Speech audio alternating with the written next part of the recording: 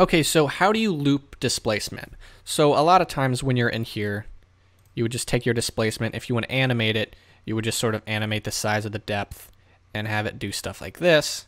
But that's not really loopable unless you make it go back and forth, back and forth. And that's not really that fun if you have just one option. So I'm going to show you a different option that lets it loop seamlessly and you can have some more flexibility in having some fun with that animation. Okay, so I'm to first hide this model. I'm to hit Shift A and add in a circle. Now keep it at this scale for now.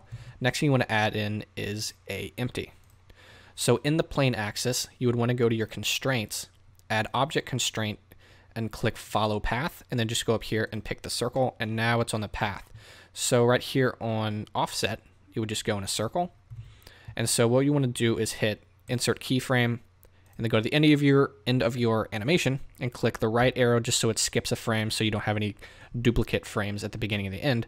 And then here on offset, just hit 100, insert keyframe, and you're going to have a perfect animation. Uh, right now, it's the keyframe interpolation is at Bezier. You don't want that. So right now, it slows down and speeds up at the beginning of my animation. By default, Blender makes your keyframe interpolation at Bezier, and that doesn't make seamless loops. So go to Edit, Preferences. In your Editing tab, go to Animation, and then here in your keyframe interpolation, switch to linear. And so you're going to want to redo that animation. Just clear keyframes, insert keyframe, go to the end, skip a frame, and, and type in 100. And now it is a seamless loop here for your animation. There you go. So now put our object back in.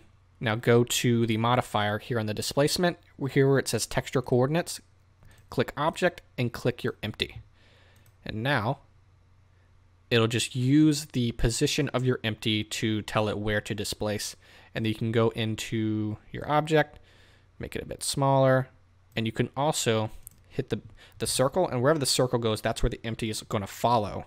So you can go in, and you can make it rotate some too, and just do different things. And that is how you loop displacement. It's really simple. It's really fun. So that's it. It's really simple. I hope this helps you out with your renders and loops and things like that. And thanks for watching.